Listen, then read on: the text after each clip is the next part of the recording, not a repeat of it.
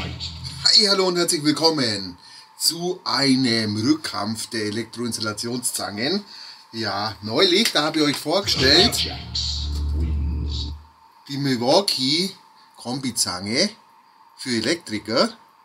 Das ist quasi für die amerikanischen Wire Gauges von 8 bis 18 Solid Wires und von 10 bis 20 Straighthead, also Litzen.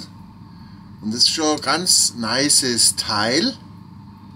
Und dann habe ich entdeckt, wie es immer so ist, kaum hat mir das Video abgedreht, dass es ja was ganz ähnliches von Kniepex gibt.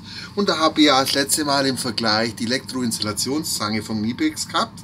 Ganz kurz nochmal im Abriss. Von 0,7 bis 1,5 mm kann man hier abisolieren.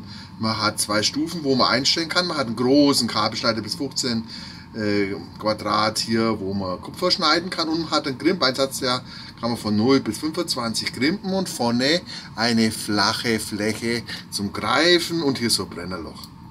Und Griffe natürlich VDE-Style um die 200 Schießen mich tot, wiegt nur nochmal nach, 80 Gramm meine Schauen wir mal hier. Heute übrigens auch ein bisschen anderes Set in 4K, aber auf der kleinen Werkbank. Möchte ich auch mal ausprobieren, wie das ausschaut. Ja, 275 und hier von Kniepex die 13778 285, also wieder 10 Gramm schwerer.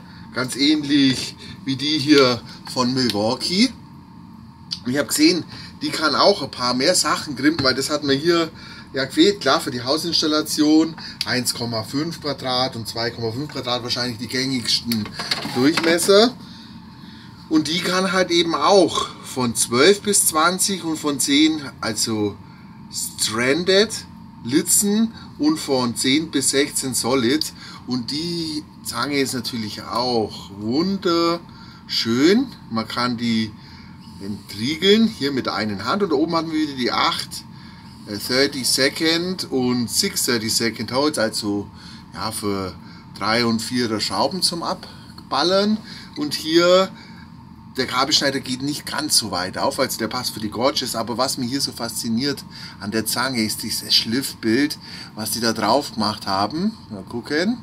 Ja, wunderschöne Zange auch von Kniepex mit den zwei Komponentengriffen. Leider nicht VD, aber man macht ja eh immer frei, ist kein Strom mehr oben. Und deswegen haben wir hier schon die Nase leicht vorne. Bei der hier, auch wenn die VDE isoliert ist, mit der kann man einfach mehr Querschnitte machen. Und das soll es auch schon gewesen sein. Ach ja, kleine Story noch, die dahinter steht, wieso die Zange hier liegt. Da oben in meiner Hauptkanalseite ist so ein Paypal-Button, da hat wirklich jemand den Weg dazu gefunden und habe ich sofort hier in die Zange investiert, weil die hätte ich mir wahrscheinlich sonst nicht gekauft.